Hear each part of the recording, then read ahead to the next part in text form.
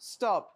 Did you just get home from the fish store and thought, oh, I should have got that bristlenose to keep the tank clean? Or worse still, have salesmen tried to push them onto you with the hopes of lowering your maintenance regime? Well, you better watch today's video, which is all about everything you'll need to know before you pick up a bristlenose. Let's jump straight into the video. The first thing to acknowledge immediately is that there's no such thing as this magical unicorn fish that will lower maintenance for you.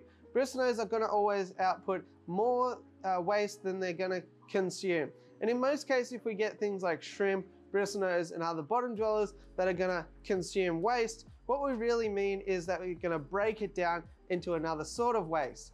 Usually a smaller sort of waste, but with bristlenose, that is certainly not the case. So if you're brand new in the hobby and you just want to get a bristlenose to make your tank clean and mean that you're not going to have to do any water changes, well, I'd probably recommend maybe reconsidering the hobby because that just simply isn't the case. With that said, if you're looking to get a bristlenose because they're quirky, they're weird, they come in a variety of types and colors, well, I'd say go ahead and do it. They are actually a fantastic fish within their own right, so long as you know that they're gonna be a fish that's gonna require care, just like anything else. If that is the case, then I'm really happy to tell you that bristlenose are peaceful, easily bred, and a great member for a community tank. In fact, one of my favorite all-time trios are bristlenose guppies and cherry shrimp for a perfect tank that all three species will breed, all three will get along, and you'll have fantastic color and activity. So if that is you, let's run through some of the more targeted care requirements or if you were one of the people that thought that bristlenose were kind of a living vacuum cleaner and you're willing to change your mind, well, let me tell you a little bit more about them. So bristlenose are also commonly referred to as bushy nose or even sucking catfish, and that's due to their sucker mouth, which spends all day going up and down the glass, kind of like those machines that you see that clean the bottoms of your pools. I'm sure bristlenose definitely inspired those designs anyway. They originate from fast flowing areas of the Amazon where you can often find them under rocks and wood, grazing away or just holding on for dear life. A large male specimen of a bristlenose can sometimes get up to 6 inches or 15 centimeters. However, on average, males and females in a combined tank, they're gonna get around about 4 inches or 10 centimeters in length. So they're gonna need ideally a 20 gallon or up. If you're gonna breed them, I'd probably recommend more towards a 40 gallon even. In terms of water parameters, bristlenose are basically bulletproof. They're a great fish for the newcomers into the hobby. Main things that are really gonna upset a bristlenose are gonna be hot temperature or salt. With that said, anything between 73 to 81 Fahrenheit or 23 to 27 Celsius is gonna be fine, and a pH range of 5.7 to 7.8. It's also recommended often if you're gonna medicate fish when illnesses do pop up to go half strength with bristlenose as they can be a little bit sensitive to those sorts of things. As I mentioned, they're gonna be beautiful and peaceful in community tanks. So in terms of tank mates, there is a massive variety available.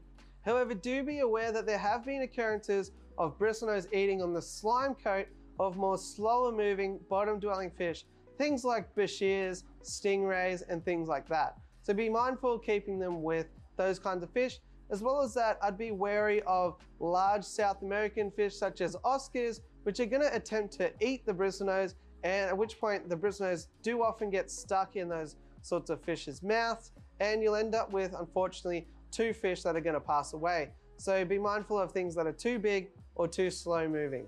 In fact, if you have too many males in the tank, you can often find white uh, circular abrasions on the skin where the males have been fighting over territories.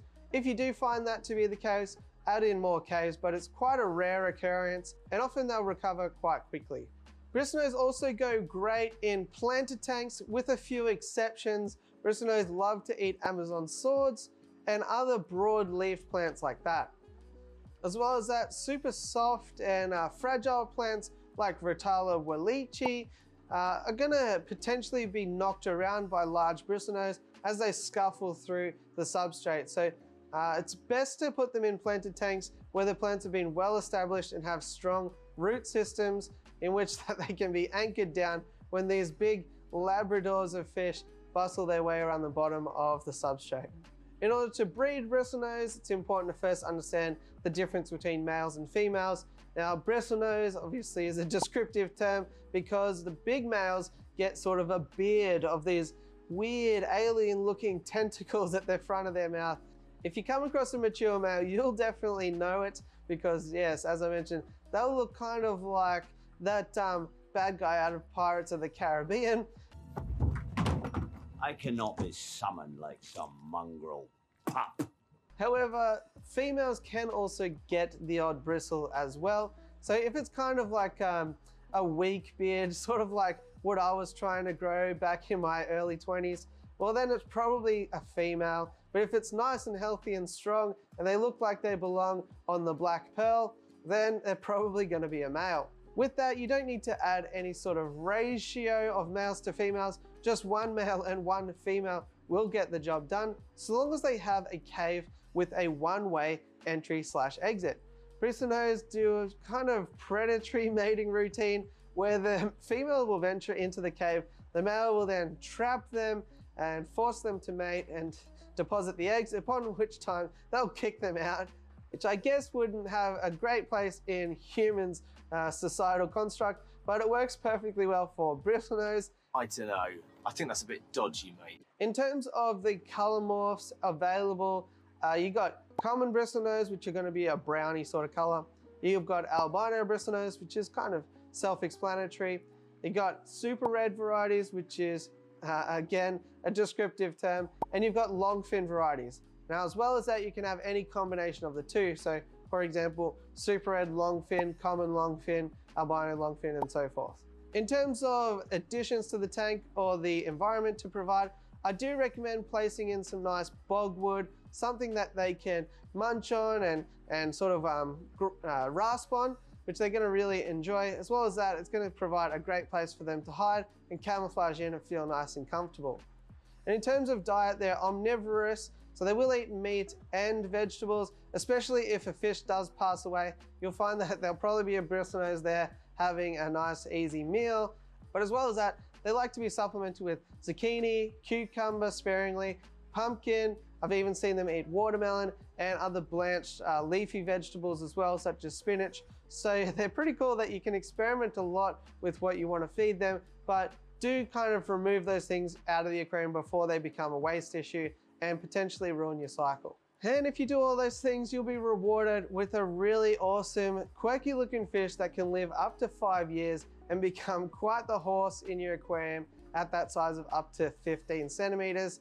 They're gonna be something that you'll forget are even in tanks sometimes until you see it going up and down the glass, hoovering away, at which point you'll remember, oh yeah, thank you, Mr. Bristlenose. I haven't had to clean that glass down for the last five years. So if you like this video and it has helped you make your decision easier when going with picking up a bristlenose or not, then it always helps me to smash like, hit subscribe, and all that fun stuff.